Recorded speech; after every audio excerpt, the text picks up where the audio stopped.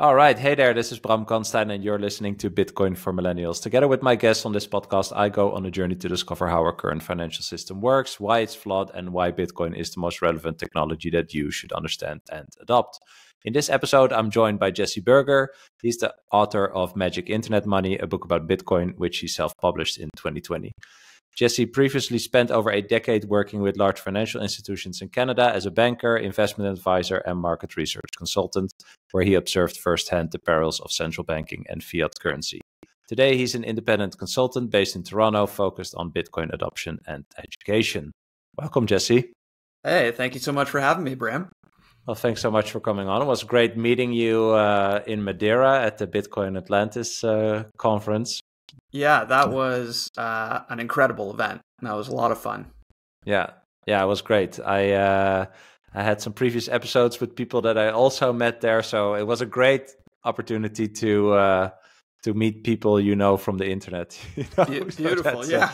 that's that, always great. That's the best thing about these conferences is you know you end up turning around and bumping into someone. You start a conversation and you oh you know I'll follow you on Twitter or add me on Telegram or whatever. Oh I, I already follow you. I already yeah, talked exactly, to you. Yeah, I think that's what we had, right? Yeah, like, yeah. I look. I, like? I, was like, you're like you're Bram. hey, I'm like, oh, oh, I'm already following you. I didn't even yeah, know. Yeah, super fun, super fun. Well, uh, yeah, awesome. You're coming on. I uh, I love to see that you that you wrote a book. Still, one of my big goals is to just publish a book. Very cool. You self published as well, by the way. I think uh, that's the that's the way to go.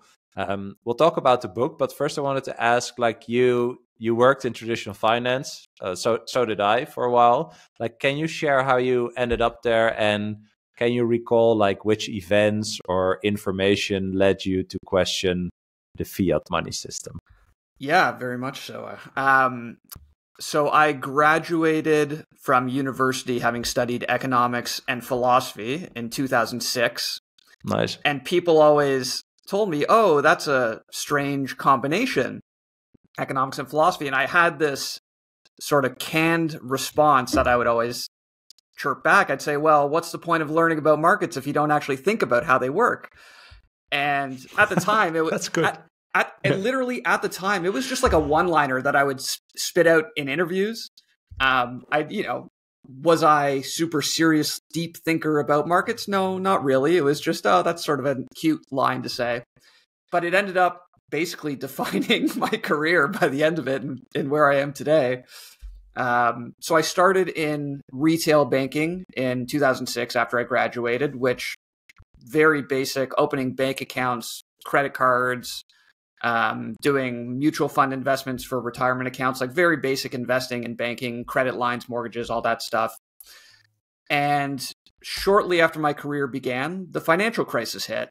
And I vividly remember when they did the first uh, TARP, I think it was called, where they had $600 billion to bail out the banks, the Troubled Asset Relief Program, or whatever it was, TARP.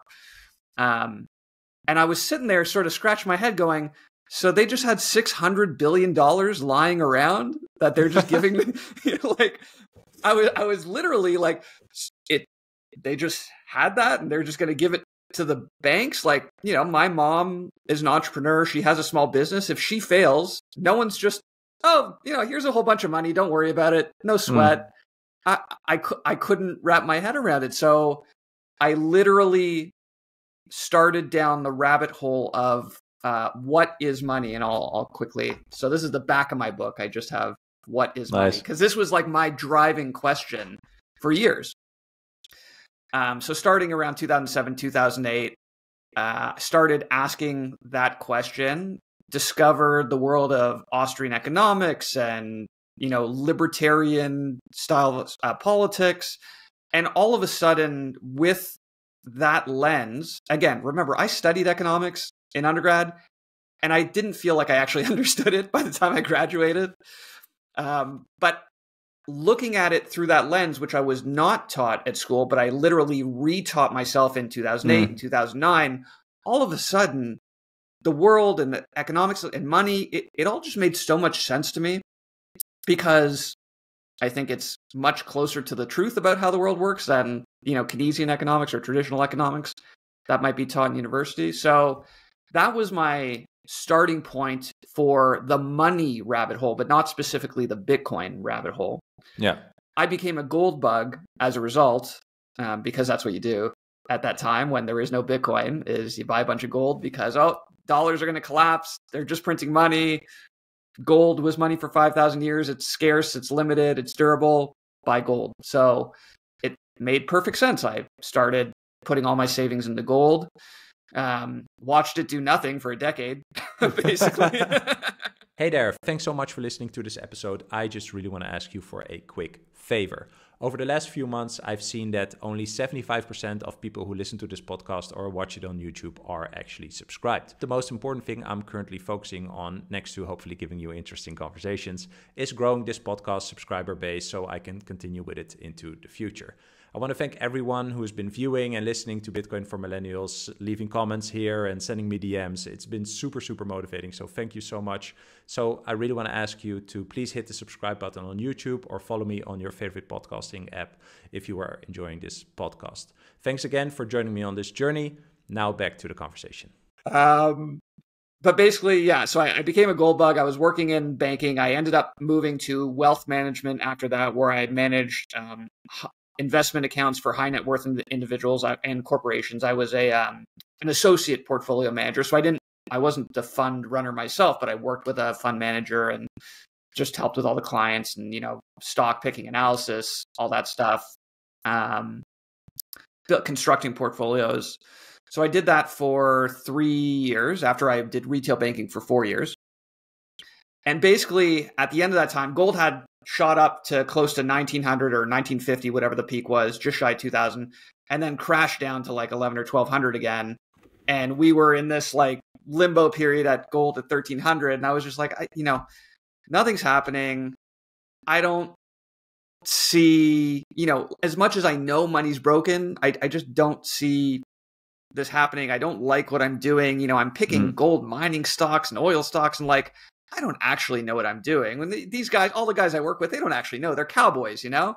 They're just throwing darts at a board, hoping something with sticks. other people's money, right? Literally, yes, with other yeah. people's money. And I'm like, er, honest, like I'm trying to learn and I'm trying to help people, and I want obviously to make my clients money. But at the end of the day, I'm slowly observing all the guys around me. It's like if a deal comes out well, they'll buy the deal because there's a commission attached to it. It's like, well, we didn't need it in the portfolio and we weren't considering it, but this deal came out, so let's do it. And I'm like, mm. uh, yeah, it, it's. I was, I didn't feel good about myself, um, and so I decided I wanted a career change.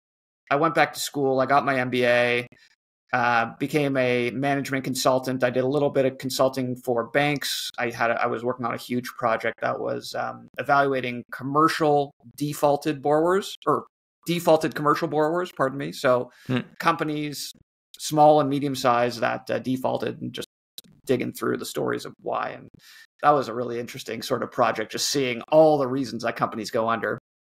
Um, but I did that for a very short time before I wound up going to a. I, I wanted to get out of like I didn't want to be working on a bank project, so I managed to get myself hired by a very small consulting firm again in Toronto. That everything was in Toronto for me um, working on the uh, the Wall Street of Canada, Bay Street.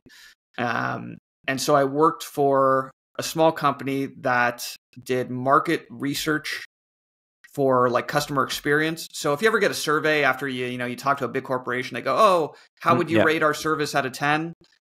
I ran those kind of surveys, and so we'd collect all kinds of data um, from customers and try to give feedback to the companies about okay, they like this product, they're not satisfied with this product, whatever. So I did that for a couple years, and then we were talking just very briefly off air. 2017 came around, and sort of by dumb luck, I was reintroduced to the world of Bitcoin and and and crypto and beyond. Um, i say reintroduced because I actually heard about Bitcoin in 2010 and I wanted to buy. I remember it was like a dollar, and I was talking to my buddies in wealth management. I was like, guys, we should put like a thousand bucks and just buy a bunch of Bitcoin, and we'll see what happens. And then we all looked at each other like, but wait, we're we're idiots. We're just idiot bankers. We don't know like we wouldn't know what to do with this Bitcoin if we had it. I don't know from programming and apps and software. And again, there was no infrastructure at the time, right? There's no yeah. apps, there's no hardware devices. It was very rudimentary. So basically, we didn't do it because we're like, well, we're not going to go to a sketchy coffee shop and hand a guy cash and sit there and like we have to have our computer, and I don't even know what I'm going to do. So Funny. didn't buy then. But, but it was still pro- how it goes, right? Still how it goes sometimes. Most totally. bankers will probably think the same right now. Yeah. Oh, funny. Um, so that was my first like contact with Bitcoin. I, I basically yeah. at that time I understood very early on, I would say in 2010, 2011, three fundamental things about Bitcoin because I was already red pilled on sound money. I understood that Bitcoin is absolutely scarce, that there's only going to be 21 million coins, that they're issued on a predetermined schedule. So the monetary plus, I don't know why these balloons are popping up. I don't know if they pop them up on your screen too. Um, yeah. That, um, sorry, the monetary policy was predetermined. There go the balloons again. Yeah. And uh, the third issue, the third thing I knew about Bitcoin was that there was no free money. The miners actually, there was a real world tangible cost to mining Bitcoin. So very early on, I understood those three things, and I understood that oh, this is like interesting and mm. could very well be worthwhile. But it wasn't until 2017 that I got reintroduced to it, started to put all the pieces together, not just the money side, but then trying to understand, okay, how does mining yeah. work? How does the chain work? Like how how does how do all the pieces kind of fit together, putting together the economics and the game theory and the technology. And uh, I was initially brought into this world via the wider crypto world, but ended up within a year after the big ICO boom and bust, you, you know, made, made some okay money on one or two coins, lost on 25 others. Same. and then, yeah. yeah. And then, okay, now I, you know, I had to learn the lesson the hard way. And okay, now I understand why Bitcoin is the thing here. It's the innovation. It's, it's the only yeah. thing that matters. Um, and there's a million reasons why. And obviously we'll, we'll probably talk a little bit about some of those reasons as we go. Yeah. But, uh, that was when I, I became just full blown Bitcoiner. It was about 2018, early 2018. Well, on the last thing you said, the, the, like that third element, like the the Bitcoin doesn't appear from nowhere, right? I think that's a that's a that's an interesting comparison to when you experienced that uh, in some way with the TAR program there was 600 billion lying around, you know, where well, or you thought it was lying around, but obviously that did appear from nowhere, yeah. right? Would you say that like because a lot of people um, you know that go against bitcoin and proof of work and all the energy arguments etc like they don't understand that the proof of work is the innovation right the yes. innovation is that you cannot randomly create it so we have the schedule we have the eventual supply but we also have the consistency um, uh, not only as to which they uh, like how they appear but also the work that needs to be done like real electricity has to be consumed in order for the bitcoins to be created basically. And that is the main innovation that they are locked into the future but you also have to do work to actually create them. So the reward you get in the form of bitcoin as a miner comes from the work that you do. Whereas in the fiat world randomly 600 billion just um, appears. Appears out of nothing right? And so even if that 600 billion would appear and work would have been done for it like energy would have been expected in some way and you know stay captured in a then that would have been less bad even. But the fact that it can just be created by the press of a button i think that is one of the main things why you know this system is is very broken. But like how do you how do you see that how how do you see that now if you look back as to your first understanding and and your understanding now yeah, like I said, initially I understood just the let's call it the economic model, the right, the 21 million, and that coins aren't free. Um, but eventually, right, again, going to sort of 2018, I started putting together that there's the economic model combined with proof of work, which keeps the economic model in check, exactly. combined with the distrib- the distribution of power and influence in Bitcoin, such that it is decentralized because nobody has mm-hmm. that like veto power in any way shape or form over bitcoin which again if we look at central banking it you get that stark contrast and that was very clear for me and and because i had worked in money and banking and and understood the perils of this system where okay they just create it from nothing like bitcoin's value proposition made a lot of sense to me earlier and it, it, it was like it was able to click for me quicker perhaps than most um, but yeah, those that that the proof of work the economic model, the, distri- the decentralized nature of the network, the distribution of power between the different groups involved, whether it's nodes and developers and miners and uh, holders. Putting all those elements together creates something totally unique and different and completely opposed to that fiat system where it's all just, you know, resting on one guy, the, you know, the, the Powell, you know, uh, Chairman Powell of the Fed and or whoever his predecessors were in Bernanke and Yellen and Greenspan, et cetera, and a little board of a dozen people who just decide, oh, you know what, today we need another twenty billion dollars. yeah. Like, yeah, exactly.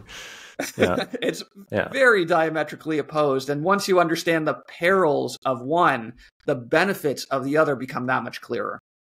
So, if someone who had a degree like you never learned what money was, even after his degree thought, oh, interesting, they just have 600 billion laying around and they can bail out the banks. How can a general citizen understand how the money that they use is actually broken? I mean, like you were in the right corner and you still didn't get didn't get it, right? So, like, how should people look at this? Carefully. they should look at it carefully. And it's there's no easy path to understanding it, right? I, I wish it were the case that I could sit down with someone who is totally new to this idea and who said, okay, you know, I've grown up with dollars or euros or whatever it may be as my money system. And I just sit them down. I say, here, this is how this one works. This is why it is making you poorer. It is programmed to depreciate you are running on this hamster wheel and you know you're you're constantly having to keep up just to tread water. You're running faster and faster just to keep your head above water. You're never actually getting anywhere. Whereas you have this other system that you know if you get whatever you get you earn your money and you save it it's it's just yours and it's there and it won't be debased and it won't be devalued. If if it was that simple to just explain that to someone you know the world would be orange pilled already today but for whatever yeah. reason and i think the big reason is I, I, forget if you and i were talking about this in madeira maybe not I, I but i heard someone mention this recently they have what's called uh, anchor bias hmm. so if you i think i, I heard it, to to credit the person correctly i believe it was pierre Rochard actually i heard talking about this but if you grew up with dollars as your money system it's the only money you've ever known it more or less works and everyone around you accepts it as yeah. this this works and this is how it is then if i say to you this system that you know and use and effectively believe in is wrong and hurting you and working against you it's as if you're attacking their character because it's part of their belief system and yeah. so there's a natural revulsion or repulsion to you know you can't say that about this thing that that i know to believe that i believe to be true and so you have That's, to yeah. in effect i you know people have to feel the burn one way or another unfortunately it, it's i think the rare person who can come at it look at this from an intellectual perspective with a very open mind and just go oh yes i see i didn't understand how i was harmed by the fiat system and i hmm. do see how bitcoin can be beneficial it's, it's a very rare person you can come across that can do that. For the most part, people have to get hurt by the fiat system the same way for me it was $600 billion just appeared. And I yeah. happened to be thinking about that, like, oh, how did that happen? Most people probably didn't ask the question, like, how did that happen? Where did that yeah. money come from? They're so just I, happy that it exists or something, right? Yeah. I mean, it, and they, it is part of their it's part of their understanding of the world i think the anchoring bias as you describe it now right this is like this is how i understand the world and one part of that is money whatever the currency is of your country and then that is that is it yes. basically yes yeah. exactly so to i mean obviously we know that you need to have a degree of humility to accept that what i thought what i believed may in fact have been wrong yeah. And I, I'm going to approach this thing that is novel and new and complex, and I'm going to slowly try to build up knowledge of it to understand it and eventually use it because there's likely to be, or I see a, a path where there's some benefit here. And that's yeah. a difficult thing to do. And there's no one, the nature of Bitcoin is that, right? You are personally responsible for your money. I can't you can't email the admin and say, "Oh, can you just make sure you send that money to such and such a person or can you reverse that transaction for me?" Like that doesn't exist. It's not a bank.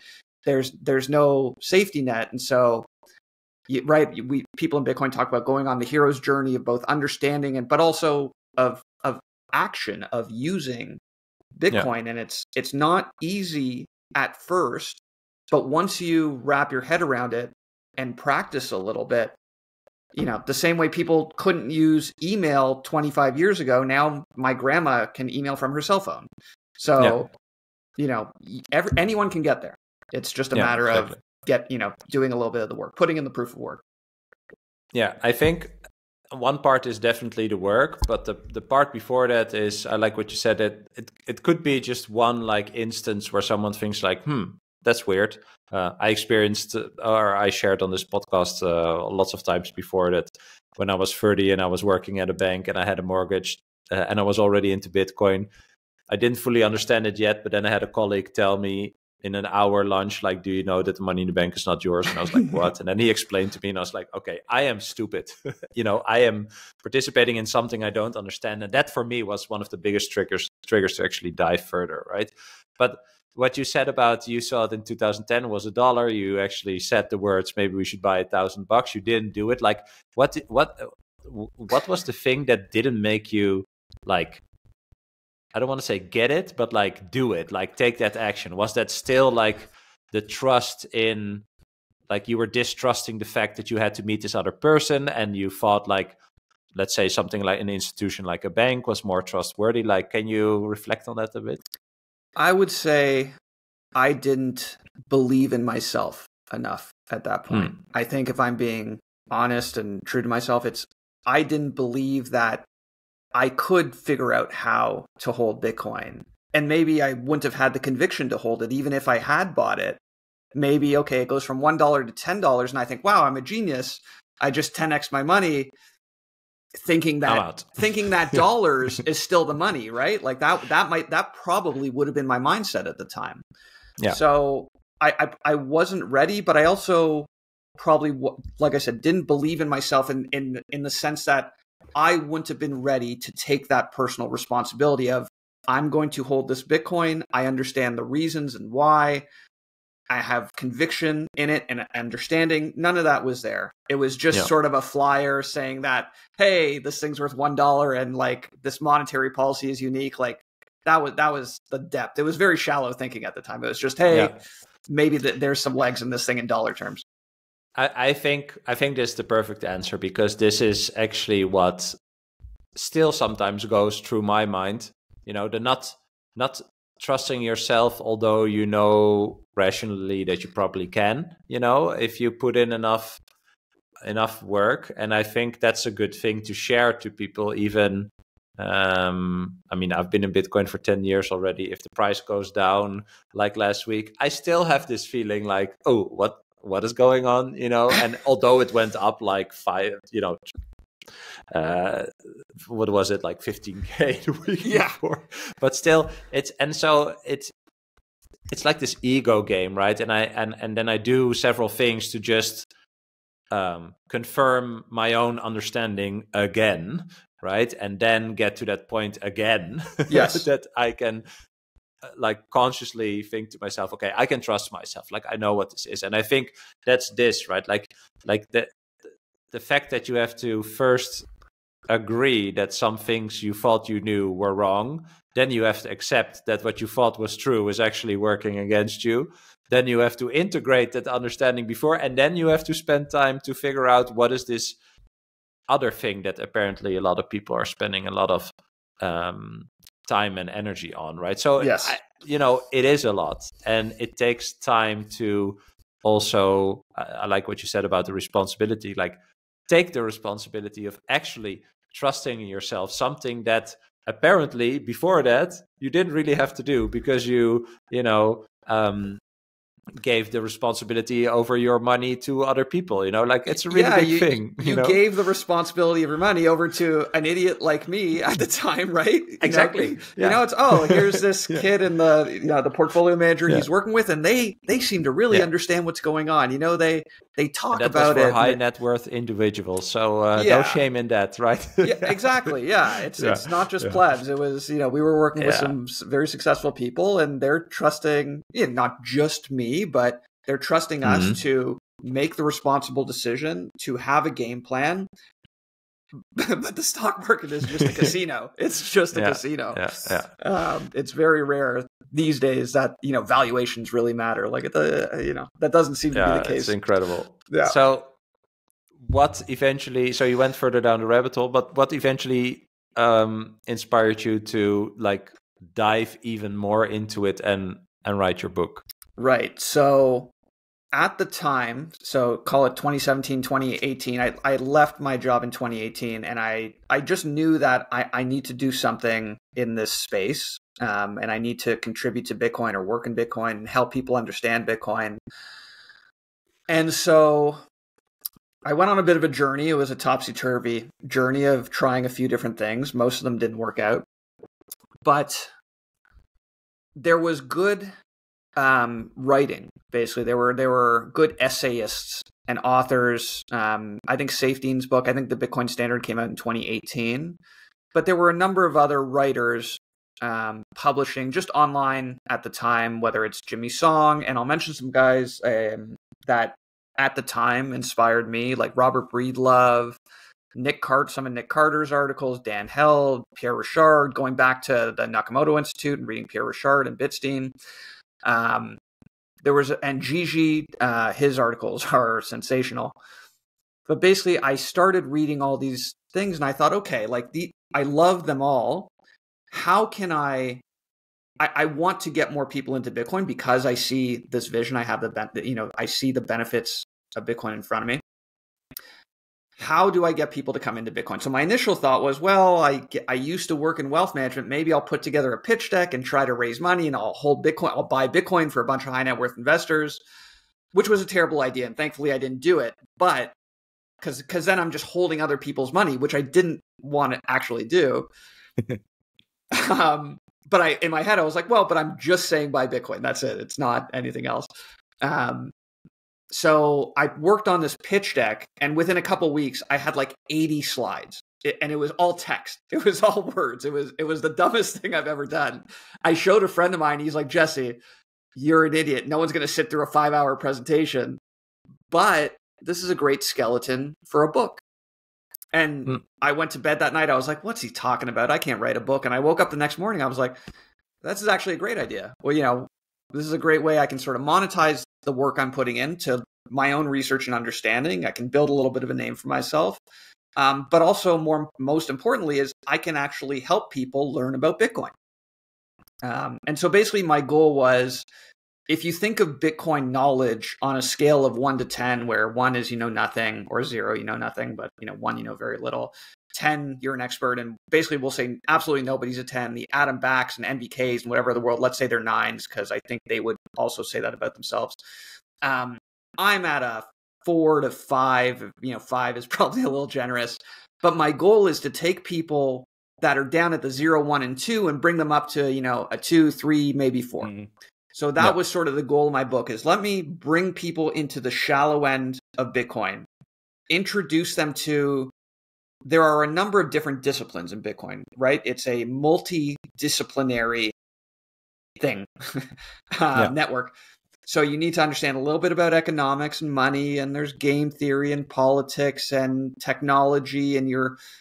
So I tried to draw from all these different sections, and really, again, just give them an introduction to all of them, and but at the same time, build a little bit of a story arc. Like my book is a nonfiction book, but I tried to tell the story of Bitcoin with a little bit of uh, bravado, shall we say, and give it a little bit of flair for the dramatic so that, you know, it, it felt more appealing and friendly than, mm. oh, this super complex thing. And that's why the book cover is very.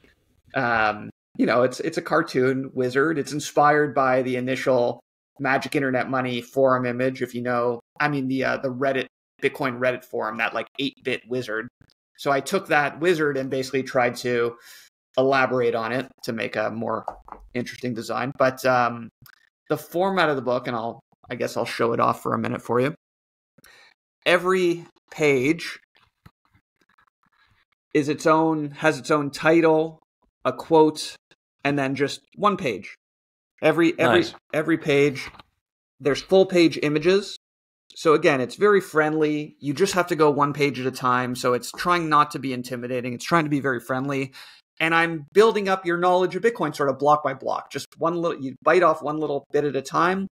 And eventually hopefully you can stand back and see that okay, I've constructed you know this this initial view and or an initial image that you might have of Bitcoin. And from there, you know, if you like this particular rabbit hole or that particular rabbit hole, you'll go off and and find more and more about that. And, and I'm just sort of like I said, I'm I'm the Walmart greeter ushering you in through the door, yeah, that's giving nice. you that first introduction, first touch point, and then you can go dive off into the deep end thereafter.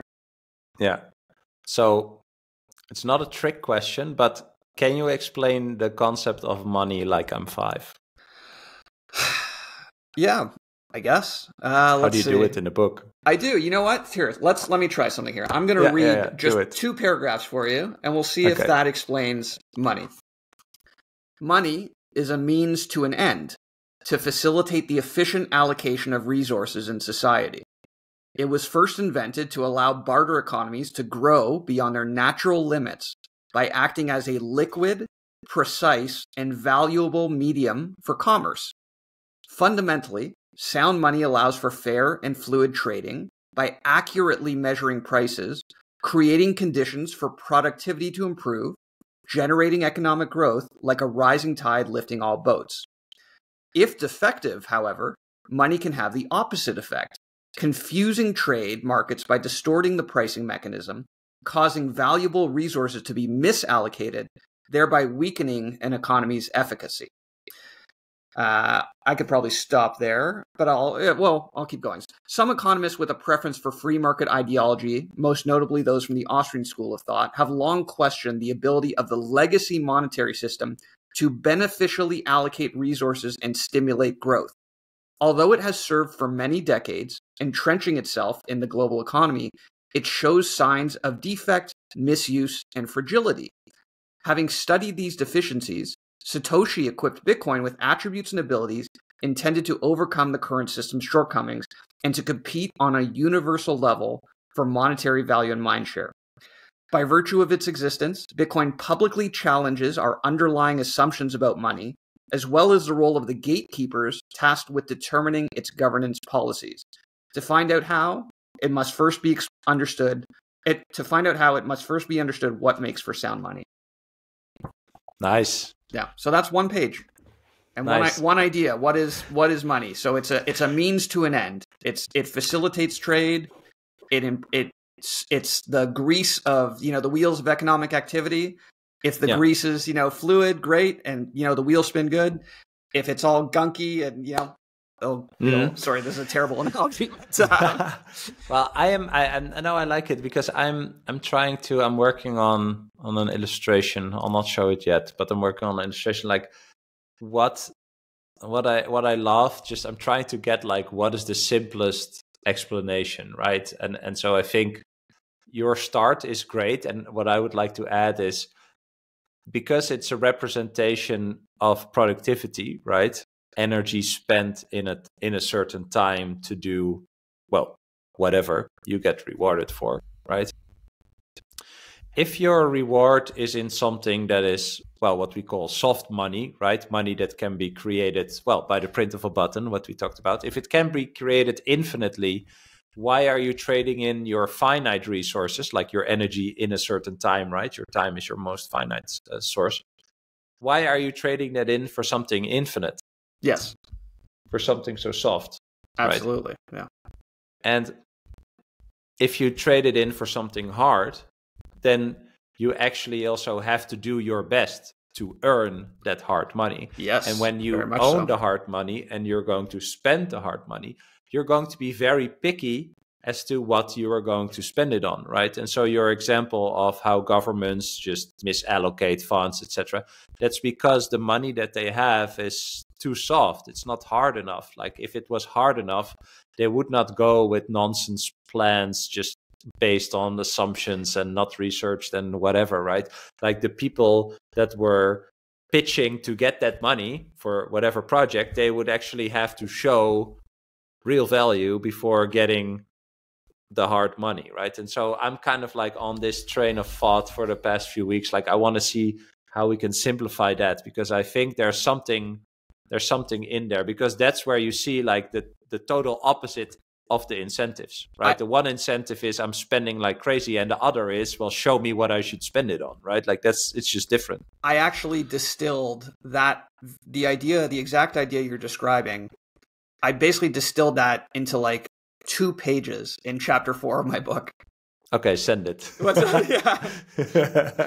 yeah, I didn't get a chance to get a copy, but that's okay. I should. Yeah. But this is fun, like because I, I what I like is that you know, I came here by listening to others and just trying to also figure it out for myself like what is the best way that i can explain it to other people actually last weekend we had friends over for brunch and i did this and uh, there was a couple and he's already into bitcoin nice and she a little bit through him and she told me i never looked at it this way and then i thought yes you know like because that's the whole goal like you cannot orange pill someone else, but you can create something in their mind where they think like, damn, I know this now. I need to figure this out. You know, like uh, this is something I need to understand. And I think I think I got there with her, but it's fun to to test that. And then also like I would love to read what you wrote down, right? Like I feel like that is especially the way also for for all of us who understand Bitcoin already to a certain degree to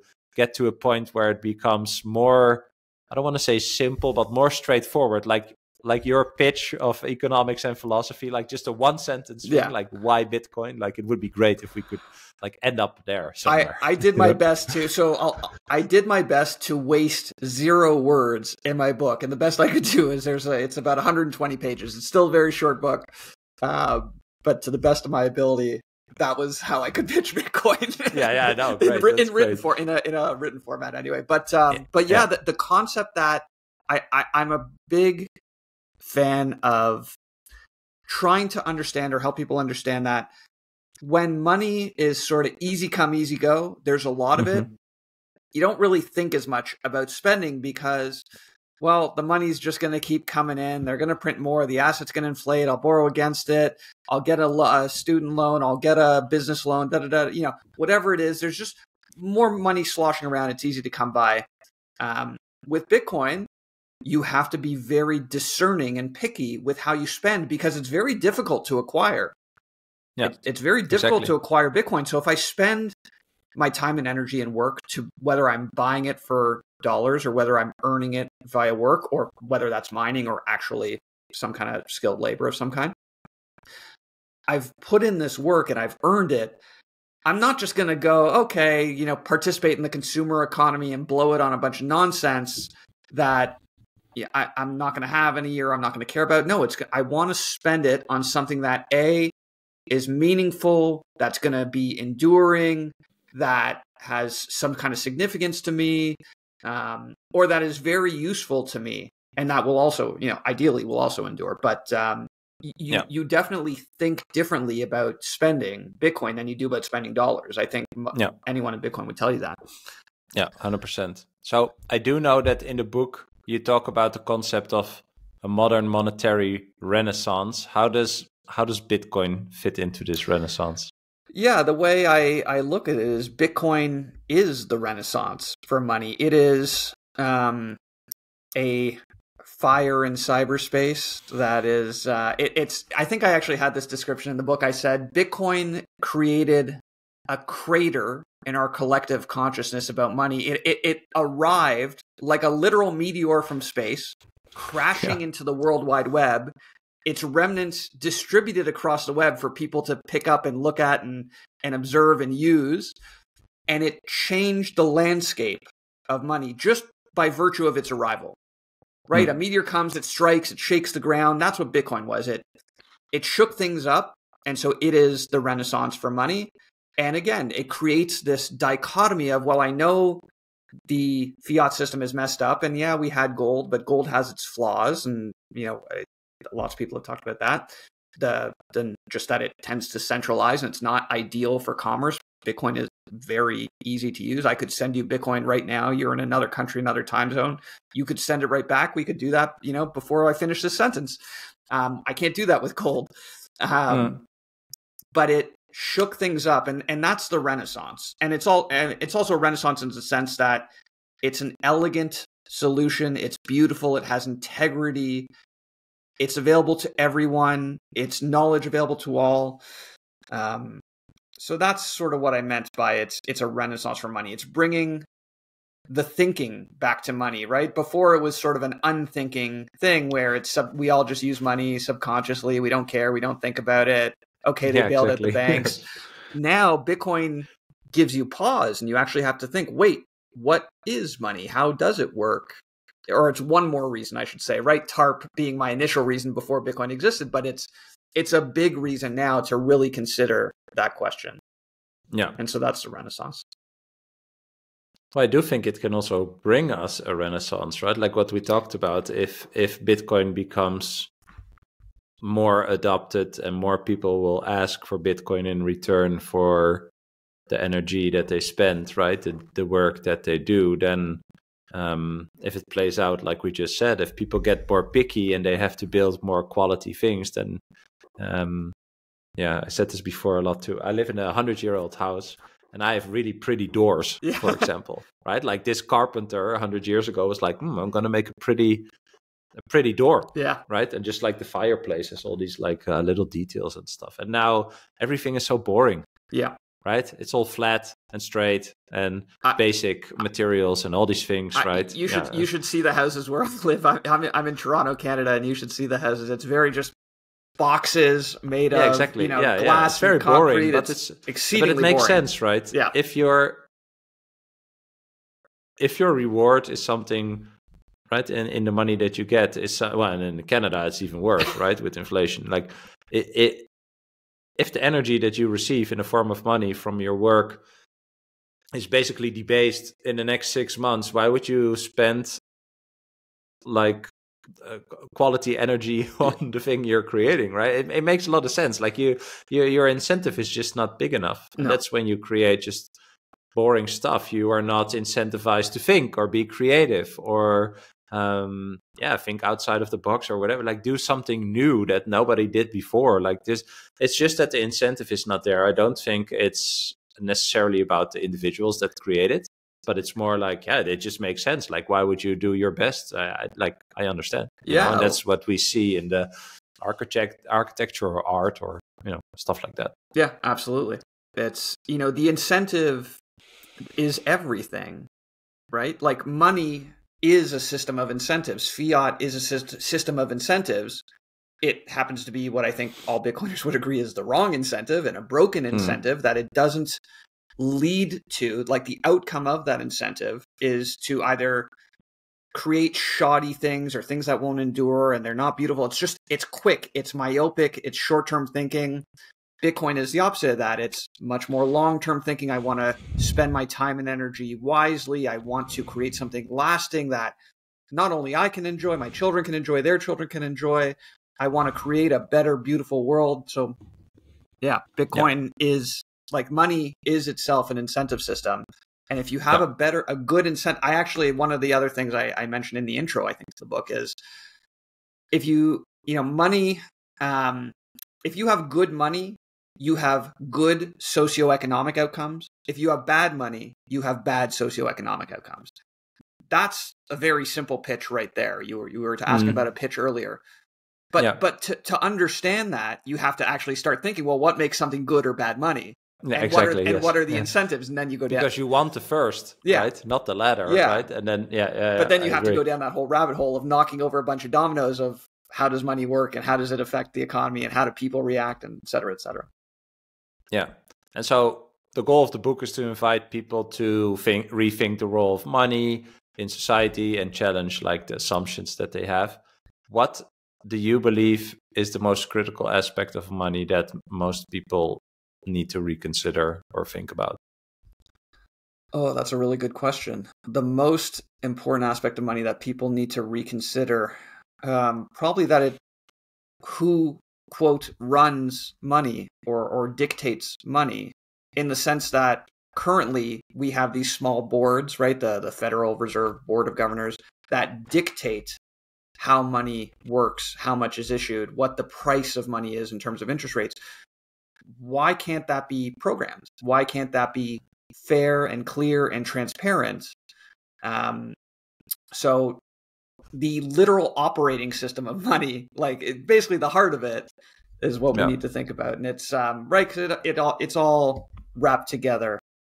Um, but it, yeah. it it's yeah getting people to to think about it it's it's tricky because people you know we talk about you got to pay the bills you got to pay the mortgage there's no time sometimes to think about it. You're on this hamster wheel. It's well i can't get Definitely. off because if i get off the hamster wheel i'm going to fall behind and then i'm in big trouble. So i have to keep running on the hamster wheel. And if i'm running on the hamster wheel i'm not taking the time to think about why i'm even running on the hamster wheel. Yeah i agree. I'm trying to quickly i love this answer because i i agree. I'm, I'm trying to look up um, oh yeah, I, I, I tweeted this about this. So it's for me, it's the rulers versus rules, right? Is yes. what you say. Like, do you uh, want to follow rulers or do you want to follow rules? Yes, so my tweet that, was. You might have heard the expression with Bitcoin, you follow rules instead of rulers. This means that everyone voluntarily agrees to the transparent rules that everyone voluntarily agrees to compared to everyone must agree to the opaque rules that a small set of rulers have agreed to. 100%. The result when we follow the the the rules is all the users of the system incentivize all the users of the system to keep the system open, honest and decentralized and secure. And therefore it will never be gamed or ever die, right? And I think this is the big contradiction is like do you want to follow this small group of people that you don't know. Maybe you know the Powell guy, right? But he definitely doesn't care that you are yeah, Jesse. All you know is his, you know? all you know is his name. You don't know much about all him. you know is his you, name. You don't know what right? data is actually driving his decisions. You know, so you have to trust this other human, or do you just want to trust yourself, basically, that you understand the rules yeah. and that all the other people that um, participate in this money system also understand the rules and they are incentivized to ob- obliged by the rules, right? And that is that is it. Yeah. But so I love that you said that because for me, this is probably also I think the biggest thing that I came to realize that you know when we were younger probably the argument well but these people studied for it and they know and yeah. have a career like that that would have been like enough but now i'm like it doesn't make sense because the people that use the money should choose the money right yeah. like it's not a, a, small group of people that should choose like it makes total logical sense to me now. Yeah, it but at yeah. the end of the day, you know, every individual has to make a choice. Right? That's like that's a huge component of you you you are choosing to use fiat instead of Bitcoin. There's an opportunity cost of using fiat yes. instead of Bitcoin or vice versa. And you have to understand the ramifications and the risks and benefits associated with both. But at the end of the day, you know, if you're waiting for someone else to tell you which one to use, they may herd you into a system that doesn't benefit you and they're somehow going to game it. Whereas with Bitcoin, yes, you're taking that bit of responsibility and you're doing the work and trying to verify for yourself instead of trusting others, but you're playing a game. This there's I forget who said this, but um, Bitcoin is a game where everyone watches everyone else to make sure nobody cheats. Exactly. That's yes. that's what Bitcoin. That's a good one. Yeah, that's a really good that's, one. Um, yeah. So that you can you can play that game. Anyone can play that game.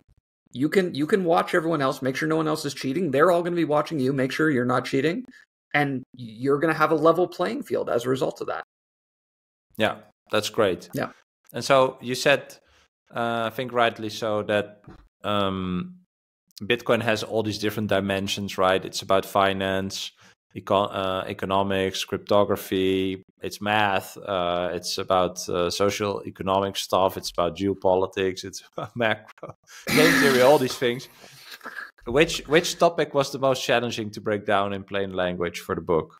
Oddly enough, I, I thought I'd have a really easy time writing about money because I worked in banking and wealth management. yeah. I, I, I actually had the most difficulty do it writing mm. that one out. The money and, and economics. I, I called chapter four is called growth. It's basically economics. I just didn't want to call it economics. Um, but writing those two chapters, which I thought were my bread and butter, and I would have the easiest time with, those ones were the hardest to really make it clear and and do it right. And I I took on some difficult. Cha- I wrote about governance in one chapter. I wrote about freedom in another.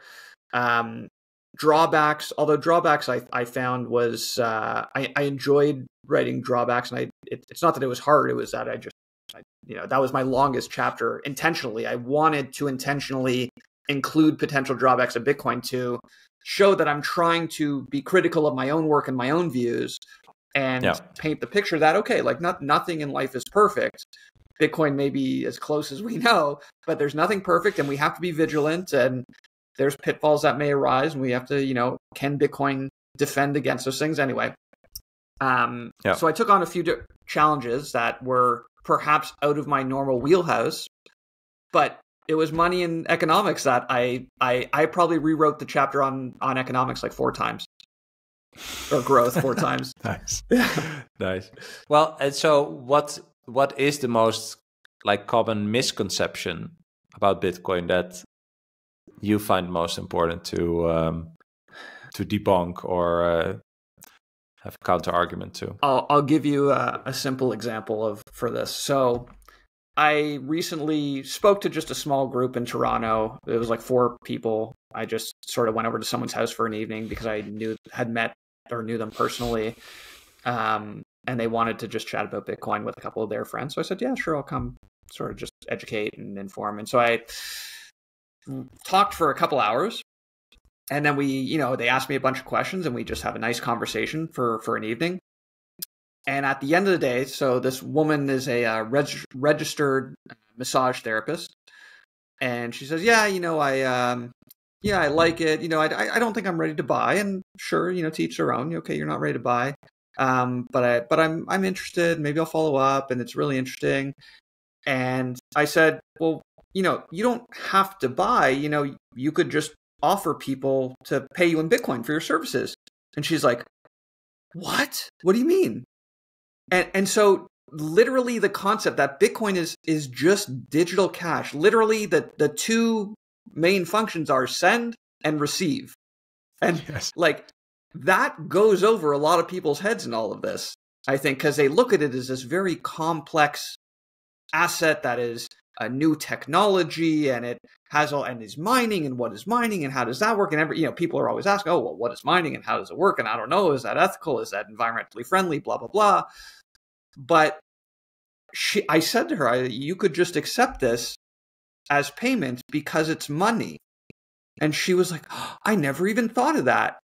And I realized, you know, I'm like, it's almost like, talked for hours. I may, I may have been pitching this wrong. I may have been explaining this yeah. wrong. I mean, I'm explaining oh, the value proposition and the scarcity feedback. and the, the, the the poor nature of the fiat system. But really, you can. Ju- it's just money. So I think that actually gets lost in these deep yeah. philosophical, you know, talks about Bitcoin. Is that well? It is the answer to your first question, right? Like, do you want um what did you say? Like a good society yeah. or like the good socioeconomic right? then, outcomes or bad socio exactly. Yeah. you need good good money. And then the first question is well is the money i have not good enough? The answer is no. Yeah. So what is a better money? And then you then it's like bitcoin is a better money right? Yeah. maybe it starts there. Maybe it's that. But see like i love this because what you said you know when you say like you're a five or a six i think I, uh, I don't know i would classify myself also in that range maybe a six i don't know yeah. but like you learn as you go right it's it's that's why also making this podcast is so fun like i also still learn as I go. And I love this example, like you said, like that will definitely help me to to talk about it differently as well. And I love that this is well, it's funny because this is the essential problem that it solves, right? It's yeah. how do I exchange value in something that doesn't lose its value after I received it. Yeah, and you and you that's, say that that's the problem. And you say that, and people go, "Yeah, sure, okay. Well, catch the game last night. How do you know? Like, you know, let's change the topic. This is a little too complicated to talk yeah. about." But if I say to them, you know, I can just pay you. oh, yeah, yeah, yeah, it's super fun. So, what can you share um, a, a personal experience or realization during like exploring this, writing the book that was most impactful on your life or your your general perspective? Um, I mean, writing the book was an ex like I it was an exercise in doing my own research effectively. I had a vision of Bitcoin in my head, an under an understanding, or so I thought, of Bitcoin. And as I go through the different chapters and disciplines, you know, I learn a little bit more about each. I don't know that I necessarily encountered. Uh, actually, you know what? No. Now that I'm rethinking about it, I will give you a, a more concrete example. Um, I was going to say that, like, you know, I just expanded my horizons on each topic. But I remember vividly, I, I, I mentioned just a few minutes ago that I, I rewrote the growth chapter a number of times. One of my big aha moments where I had started writing it for the second time or whatever it was, um, I had just finished Breedlove's, one of his first big articles, uh, Time and the Tyranny of, of Absolute Scarcity. It's I forget the exact name, but it's I read that article and I remember looking at my chapter and thinking, I go, I didn't mention time once mm. in this article, and and time is a factor in money and economics, and and all of this, right? At Madeira, Jack uh, Mallers' opening remarks, he had a huge segment on on time, and so you know people can watch that on on YouTube later if they want. Um, but I didn't account for time whatsoever. And so I remember having this sort of aha moment, scratch that, what I had written, and basically had to start again. Um, but trying to incorporate t- time preference, right? That vision of there's the myopia of fiat, of, well, it's consumerism, it's, you know, just fast items, fast food, fast fashion, fast yeah. art, you know, just garbage art displays. We're talking about, you know, the, the concrete houses in Toronto, the square, you know, nonsense that's not original and beautiful and innovative. That's the time element of well, I have short, like a, I can only see two inches in front of my face because of fiat. Bitcoin, as it as it relates to time, you have to think further ahead, further into the future, and it changes your perspective. And basically, perhaps you know that seed was probably already in my head to some degree, but I I really snapped back to that when I had read Breedlove's article, and then I'm mm. like, well, I have to account for this in, in my book. Yeah. So that was a big one for me. Nice, yeah. I also think about you mentioned uh, Dergigi uh, before, but like he he has he has an article called "Bitcoin is Time." Yep. Uh, so for people listening, if you Google "Bitcoin is Time" by Dergigi D E R G I G I, that's probably one of the most mind mind blowing articles uh, around Bitcoin and time. And this, I think, this from ten years ago, by the way. So he got it. he also wrote an article called uh, "Bitcoin is Gravity" or "Bitcoin's Gravity." Mm. Part not Bitcoin is gravity, but Bitcoin's gravity.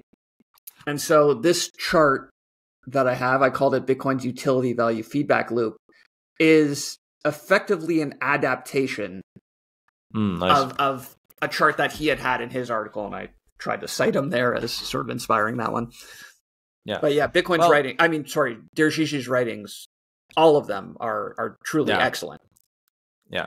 Well, if you think about Bitcoin's gravity, right? I like the idea of uh, and that's attached to what we talked about before, right? If there is not soft money anymore, which makes you not put your best forward in terms of productivity, right? Like energy spent in time. Um, hard money, the hardest money to ever exist, like Bitcoin, will actually have you put your productivity into it and also uh, price your productivity in Bitcoin, right? And I think that is when you when you think about why will Bitcoin become more valuable. So that doesn't only mean price goes up, but more desirable. Yeah, uh, the price going up is a result of be, it being more desirable and valuable. Is because I believe that once people understand that they can be if they really add value they can be rewarded in the hardest money to ever exist, all the productivity, all the energy spent in X amount of time will flow into Bitcoin because that energy will be stored in Bitcoin. And, and for me, that's the gravity of Bitcoin. It will attract real value, real productivity of, of people because uh, I think that's another uh, law, right? There's a lot of laws. There's a lot of laws around, yeah. Gresham's law. Gresham's law yep. is uh, people ditch the bad money for the good yep. for the good money right and i think this is it so once you understand that you can price whatever your job is or your venture or you know well you can be a massage therapist. Like you can ask if you're really good then people will give you bitcoin for it you know? And uh, that is i think that is very real and and more people will will discover that. But like when when we see that happen like what how will the future look like you think? Like how will it be, be brighter better more beautiful? All the ways. Um yeah. I mean in terms of i you know i think of how much waste there is in the fiat system right like i spent seven years in banking and wealth management so four years in retail banking and three years in wealth management how much of that was useless or or could have been done by Bitcoin as a program. The the banking hmm. side, in terms of having a bank account, okay, well, you have a Bitcoin wallet. There's your bank account. Um, your savings account or your investments. Bitcoin checks that box too. It's it's both savings and investment effectively at the same time because it not only preserves value, but and cash, but grows value and it's cash. Yeah, yeah. So all the people you know, and I, I, I envision in my head because I'm in Toronto, I envision the office towers downtown of all the guys who shuffle their feet and you know drive their cars and take the subway, and they they go into these towers and the lights are on and they're printing papers and they're running around back and forth, calling each other, getting on this deal and that deal. How much of that is waste? Is just everyone just saving Bitcoin and we have money, and we don't need to bother with 99% of this stuff it's it's hmm. just waste. We're we're we're literally shuffling papers back and forth. It's nonsense. Yeah. So it's it's hard to envision the beauty and the grandeur and because we will never see anything like we can't even imagine it really we don't know what it'll be we have inspiration to draw from from eras of the past where they created beautiful things on better money standards but this is as you said the hardest money that has ever been. They had hard money in in the form of gold, and that allowed them to create some some beautiful things. But gold was not all the way perfectly absolutely scarce. Yeah. So what will it be? I don't know. But I all I when I think about it, I mostly think about all these people doing nonsense. They're going to free up their time pursue creative endeavors, things that fill their hearts and souls and make them feel good about themselves, instead of, oh, I gotta, I'm getting my soul is being torn away from me going to work to pay the mortgage, to run on the hamster wheel that I'm exhausted from. So I don't know exactly what it'll look like, but I know a lot of that waste will go away. And so I'm, I'm you know, that's, I, I see that side more than I see necessarily mm. the beauty and the, the grandeur that will come. Although, you know, it's fun to dream about. But yeah. all our dream, we'll be able to try to fulfill as many of our dreams as we possibly can, as we, you know, with the naturally scarce resources at our disposal. You know, what can we create with those things? We'll we will allocate them as efficiently and effectively as humanly possible. Yeah, 100%. And I think to add to that, like, it also doesn't matter what someone then will do right like it's it is about you can do whatever you want yeah. whatever you think you are here to contribute to the world that's the entire point right yeah. and so it's not about value can also be that you make the best bread or you paint the best art or 100% it, it, it's not about um high earning type job uh, that that's not what it's about no. because if we have that money that stays at the same value, then it, I don't know. For me, it feels like it levels. Uh, I don't like this expression, but leveling the playing field in the sense that, like, you can actually, we can actually have like a meritocracy because now some people are stuck on that hamster wheel, as you mentioned, doing stuff they don't like, yeah. but they cannot even they don't even have the time to think about what would I actually love doing. Maybe I have to study for that, or I don't know. Yeah. Right. But they they they don't even have the space, the the the time space yes. to explore that. Right. And once we can create that time space for people to explore that, everyone will be more happy. I think it will certainly be a happiness will go up. Yeah, happiness will go up in my view for sure. I agree with you and that. Happiness, prosperity, um, but just fulfillment, right? Like people are going to be filling their cups exactly. of I, you know, I'm the greatest barista in the world. You know, I make the most beautiful designs whatever. in the coffee, whatever, yeah, whatever exactly. it is. You can show yeah. that off and be proud of it, and and you will have, as you said, the time space to to pursue those things that that fill your cup. Yeah. All right. Last question, sure. and I ask everyone the same the same question. What's a core belief you will never let go? I've had to everyone sl- sighs I've had, too. I've had to sl- I've had to slay a few core beliefs these last five years, let's say, or four years. Um, one that I won't let go. You know th- that just you have the power to make your life as beautiful and fun and fulfilling as possible. I think no one should ever let go of that belief that, you know, you can do and be more than you are if it's the case that you want to do and be more. Um, and that'll be true on a fiat stand on a fiat standard or a Bitcoin standard. There will people who you know have self doubt, um, who need inspiration. And hopefully, on a Bitcoin standard, they'll find more people to help inspire them and they'll have more time space to be able to do that. But yeah, I, I, I guess I'll, I'll give you that. Thanks, man. I love that. Really enjoyed this conversation, and uh, let's do it uh, again in the future. I uh, I will link to your Twitter or X. I always yeah, whatever Twitter. Yeah. I'll link to your book so people can check it out.